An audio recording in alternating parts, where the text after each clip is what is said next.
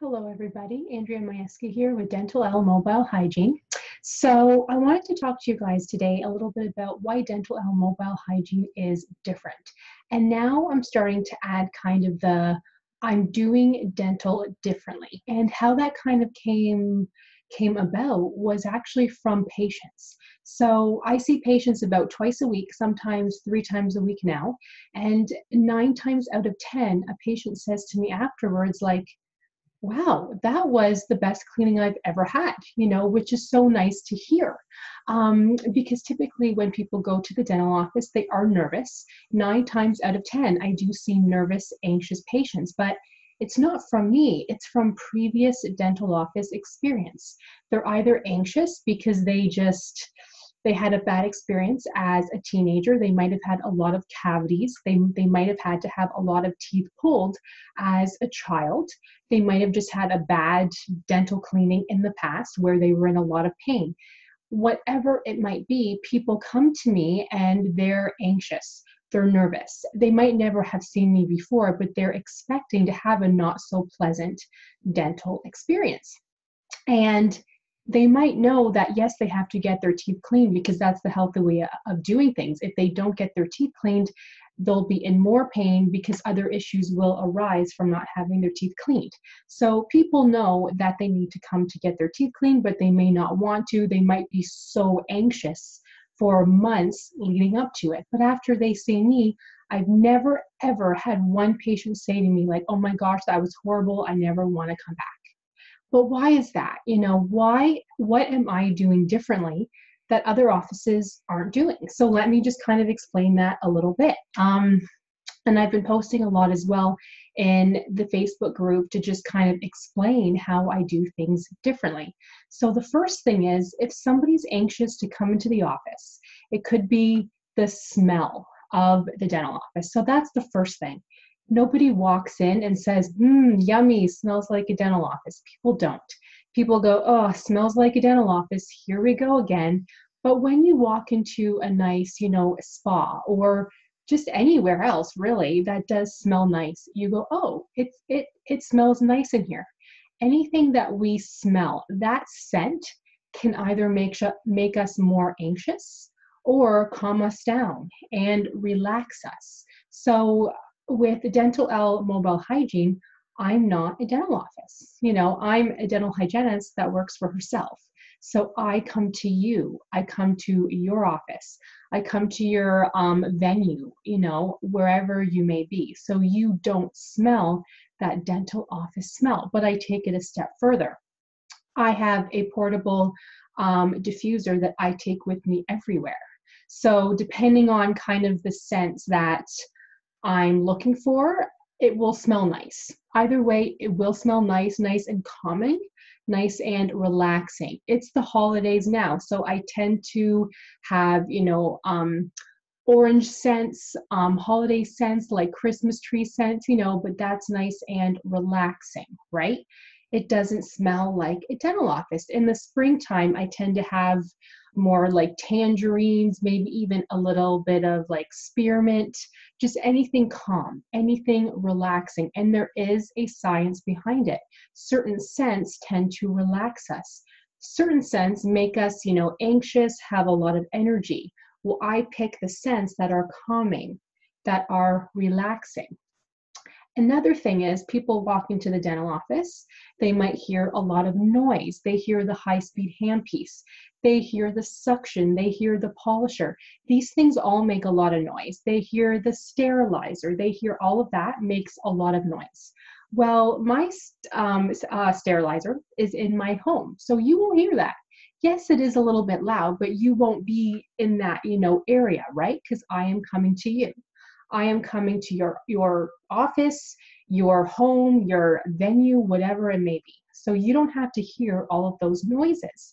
Plus, the equipment that I have purchased is known to be a much lower uh, sound waves. You know, uh, sound waves, they call it lower frequency. So even my polisher is known to be quiet. I did buy a very special polisher that is very, very quiet and it's not, you know, Um, there's not a lot of pressure, so it's just light, you know, quiet. It's a lot nicer. So you won't hear all of those typical dental office noises. Plus, I do have a laptop that I bring with me to play nice calming music. Half the time, patients start to fall asleep. So that tells me that they're comfortable. I love that. I do see patients in nursing homes, and more often than not, they fall asleep, but that tells me that they're comfortable. Kids don't usually fall asleep, but they like the nice calming music. They love it. So, kids, seniors, adults, it doesn't matter. People just love that. Another thing is, maybe even more important, is that I will never keep you waiting. Time is money, okay? Time your time is very precious to me. So you would never have to sit and wait for me because I come to you. And I do not book patients back to back either. If I did that, then yes, I would likely be behind because I have to travel to different places. So I never book patients back to back.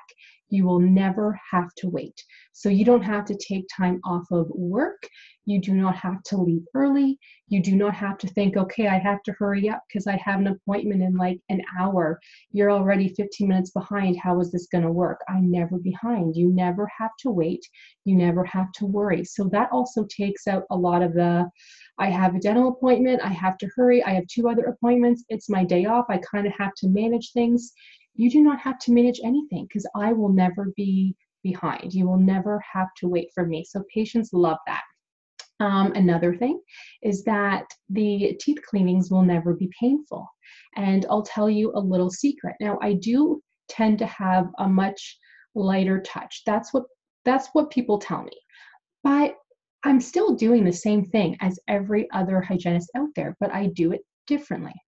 As silly as it sounds, I make sure to always have sharp instruments. Imagine using a dull pair of um, uh, scissors and trying to cut your hair.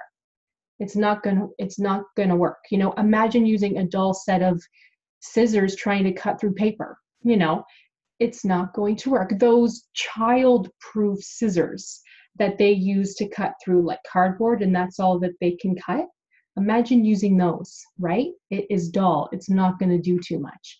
Using a nice sharp pair of scissors cuts through anything. So it's the same analogy, I guess, if you will. Using sharp instruments to clean somebody's teeth, I do not have to push and pull to get down there. It just comes off right away. So that's a little secret that I have is I make sure to have sharp instruments. The reason why they don't often do that in dental offices is because there's no time. I have worked in many, many offices and we are booked patients back to back to back to back. During lunchtime, I'm eating lunch. When it's the end of the day, I'm going home. There's no time to stop and sharpen instruments. Maybe once a month, if a patient cancels, perfect then we can sharpen our, our um, um, instruments. But with me, I run my own business. So I make the time. I make the time to sharpen my instruments. So they are always sharp and you don't have to be in pain from your dental cleanings. So that's really, really nice. Um, if you come see me once every 10 years, it might be a little uncomfortable because there's a lot there, right? So I can't really promise if you want to see me once every three years, even, there's going to be more there. So it will be a little uncomfortable, but you should never be in pain. But make it easier for you, make it easier for me. Come in every six months or more or less, and that will really make a big, big difference. Um, another thing is with the health history, with the medical history and the dental history, I do also have a separate piece of paper that I do ask you what you want from your dental appointment, meaning, do you like me to talk the whole time? Do you want me to not say anything because you just want to sit there, you know, take it easy, relax? You let me know because I find everybody's different. I have some patients that as soon as they sit down, they go, Hey, tell me, how are you? You know, tell me all about yourself, you know, and I'll go, Oh, okay, sure. Well, I can talk for the next hour easily.